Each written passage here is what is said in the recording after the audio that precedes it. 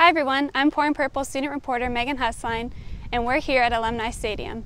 Behind me, the installation of the new field turf continues in preparation for the upcoming 2019 football season. This four week process began back on July 10th when the Motz Group began tearing up the previous field turf that was installed all the way back in 2005. With that old field being removed, coupled with kickoff of the 2019 season being nearly 30 days away, we thought it'd be fun to take a look back at the most memorable moments for DeSales football over the past 13 seasons on the old field turf. Of course, we have to start with the very first game on the brand new turf, so we go back to 2005. Alumni Stadium had been the home to Stallion football since 1988, but in 2005, the stadium was renovated and an artificial playing surface was installed. The first game was certainly a memorable moment. Unfortunately, the Stallions, the eventual Division III state runner-ups, lost their home opener to Toledo St. John's Jesuit 20 to 17. In 2016, the Stallion offense set a school record for most points scored in a single season with 588 points, which is 42 per game. One of the reasons for this success was senior running back Alonzo Booth. In a Week 5 game against Covington Catholic, Booth set a school record with 320 yards rushing to go along with five touchdowns in a 42 17 victory over the Colonels. The owner of the program's career rushing record, with 3,352 yards, Booth set a series record against rival Bishop Watterson with 269 yards against the Eagles in 2015 and a 24 7 victory over Watterson. Coach Wiggins' ninth win over the Eagles in 12 tries. Speaking of running back performances, in 2011, Warren Ball, a first team All Ohio selection, crossed the goal line six times in a 48 12 victory over Brookhaven. It's part of a school record season where the future national champion Buckeye and Akron Zip totaled 29 touchdowns in his senior campaign. How about the 557 yards rushing against Findlay in 2009, a 56 23 win for the Stallions? The purple and white carried the ball 54 times and averaged over 10 yards per carry. Let's flash back to Joe Riley's reaction to hearing his team tallied 500 plus on the ground. That much tonight? Yeah. Man, that's, that's really something special. Six players had at least 50 yards rushing, led by backup quarterback J.P. Mazzaco's 125 yards. Brian Clark rushed for 151 yards in the 2006 St. Charles game, a 35 0 win for the Stallions, their 30th over Broad Street. Chris Rock's one handed catch against Watterson in the 2008 playoffs has to be included because, well, it's a great pass by Thomas Gentili, an incredible snag by Rock, but also because Pouring Purple Tom loses his mind. Here's his call. Gentili fake is, sets up the throw, goes in zone, Rock is there, and he makes a beautiful one hand catch for the touchdown! Oh, what a grab by Chris Rock! In a 2020 game against New Albany in 2007, sophomore Adam Griffin had a key kickoff return against the Eagles late in the fourth, which set up a Jeff Sherman 38 yard field goal, who drilled it with 8 seconds left in a rematch of the 2006 Regional Championship. In 2016, senior place kicker Dominic Damasio tied a school record with a 55 yard field goal in a 47 7 win over Canal Winchester. Let's talk defense. After Stallion punter Anthony Chimachella pinned the Eagles deep and DeSales leading 2014 late in the fourth quarter, senior lineman Jamez McKinney sacked Austin Green in the end zone for a safety to make it a two possession lead for the purple and white. Also from the 2016 victory over Covington Catholic, defensive back Jared Noble on the final play of the first half returned a Colonel pass 104 yards for a touchdown on a pivotal, game changing play, as the Stallions would take a 28 17 lead into the locker room en route to a 49 17 victory.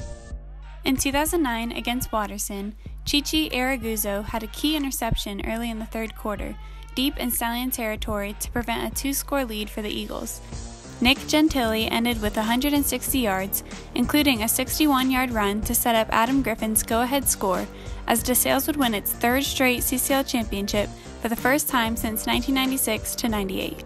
The Stallion defense shut out Westerville North 42 0 in 2007, and it was the first time in school history that the Stallions opened the season with three straight shutouts.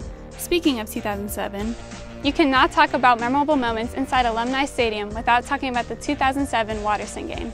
With the Stallions on the losing end of a nine game losing streak to the Eagles, Jeff Walsh emerged from a scrum in the waning moments and raced 34 yards for a game winning touchdown in front of the largest crowd in Alumni Stadium history, as the Stallions won it 13 6 in Ryan Wiggins' first game as head coach against Watterson. Here's former voice of the Stallions, Scott Bacon, with the call. 17 seconds to go. He takes the snap. He hands it off up the middle. Did he get the first down? Breaking loose is Walsh. He's inside the 20, 10, 5, touchdown! Forget the first down. How about the house? From 33 yards is into the end zone, and it is purple pandemonium here at DeSales. Later in 2007, in Week 10, in his first year as head coach of his alma mater, longtime assistant Ryan Wiggins led the Stallions to an undefeated regular season by defeating Benedictine 35 14 and won the program's first CCL championship since 2000. The Stallions held the Bengals to just 88 yards of offense. Going back to the first year inside the newly renovated Alumni Stadium, the Stallions earned their first victory on the new field turf against Kettering Alter, a dominating defensive performance by the Purple and White. Justin Moore crossed the goal line for six, and later disrupted an Alter option play that resulted in a turnover. In 2010, in a rematch of the 2009 state championship game, DeSales welcomed in Youngstown Cardinal Mooney, the defending state champs. Injury riddled Stallions were aided by a breakout performance by senior running back Evan Kendrick, whose 68 yard touchdown run in the fourth quarter gave the Stallions a 17 point lead in a huge game that went a long way towards clinching a state's second best streak of 17 consecutive playoff appearances.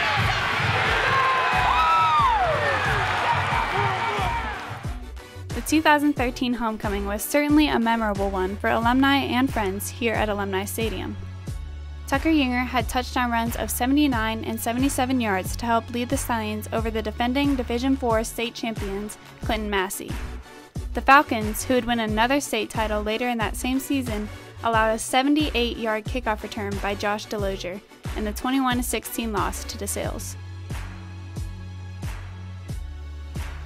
From 2005 through 2018, the Stallions shut out 12 opponents in Alumni Stadium and perhaps the most unusual was the Gahanna game in 2009, postponed from Friday night to Saturday morning at 10 a.m., but the Stallion defense was ready to play.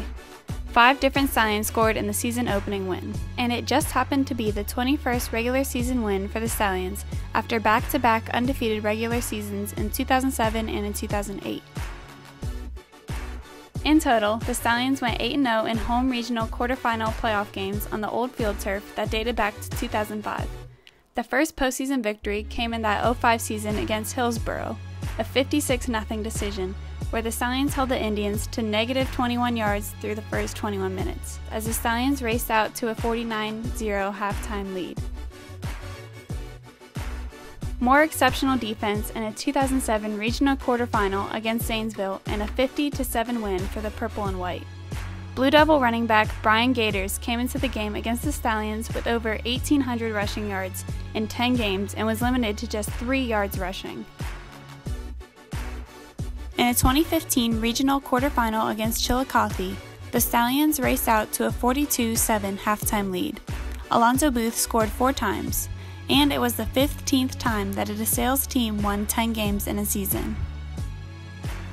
How about Adam Griffin's huge game against Bryant in 2009 in a regional quarterfinal? 45 yard line, has the 50, got some blockers. Griffin the 40 yard line, still free, 35, 30, another blocker, 20 yard line, 15, 10, 5, end zone, touchdown, Stallions! 243 all purpose yards for the future Buckeye on just 17 touches in less than three quarters in a 45 21 win. More Alonzo Booth talk. It was a 2016 regional quarterfinal game where he broke Dino Rosano's school record for career rushing yards, a 55 13 win over Sheridan. Ohio Mr. Football candidate Josh Kuzan recorded 14 tackles and rushed for 135 yards for the DeSales, who came into that regional quarterfinal 0-4 all-time against Watterson in the postseason. It feels really good, you know. Um, there's not a lot of firsts that we get around here, especially to be the first team to beat Watterson twice. It's a real special moment right now. It feels real good. Looking back on all of these remarkable moments on our very own field fired me up for the upcoming season, as I'm sure it did for you as well. The football team's home opener on the new turf is Week 3, September 13th, against Notre Dame Cathedral Latin at 7 p.m. If you can't make it to the game, remember that you can listen live to all of the Stallion football games right here on pouringpurple.com. A shout out to our primary sponsor, the Sam Chapman Agency of the Farmers Insurance Group. I had a lot of fun reminiscing on these momentous occasions, and I hope you enjoyed as well. Thanks for watching, and I will see you all next week. PPM, out.